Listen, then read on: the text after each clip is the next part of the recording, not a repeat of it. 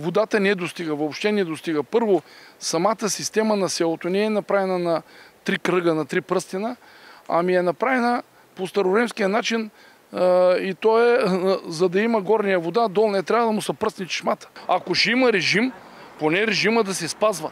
Защото хората вече са свикнали с годините и са примирени, че ще има режим. Обаче ти не може от петък на обяд до неделя на обяд да нямаш капка водичка. Аз ще говоря лъжи. По-голяма. Вода нямаме от, от години.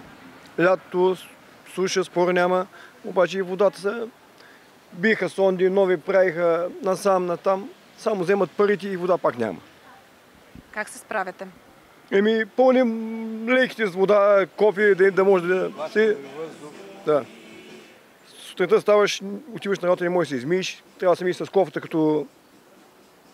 Неудобно. Горно слабо водофащането, водата върви в дирето. И това защо е? Защото миналата, по-миналата година отпуснаха милион и 300.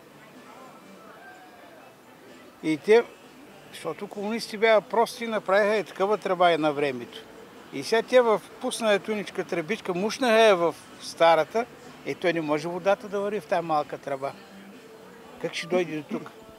И водата се продължава да се върви в.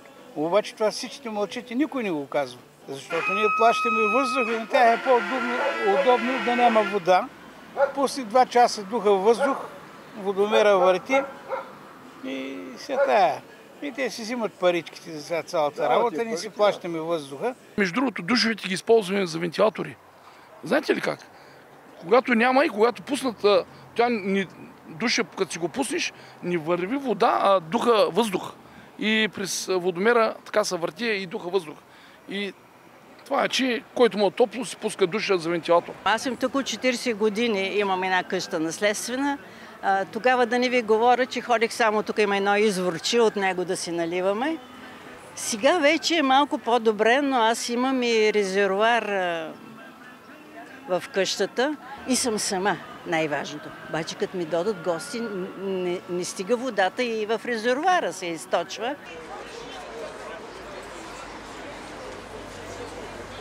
Решението на този проблем ние го виждаме в две посоки. Едната е това, което правим сега съвместно с общината. Стартирала е тази, този договор, който сме подписали с нея за въвеждането на един нов водоисточник. Още октомври миналата година е, са направени първите постъпления и в момента общината има учредителни процедури по терените, за които се отнася. Това е в посока Долнослав. Там има така наречени хоризонтални дренажи, които ще ги включим в водоснителната система на село Червен. Долу в ниското има вода, една местност Карасолка, има вода, много вода има и искаме сега от ниското да качваме нагоре. Кога евентуално той може да стартира? А, ами той е стартирал, той проекта си е стартирал и Се реализира. а, да се реализира.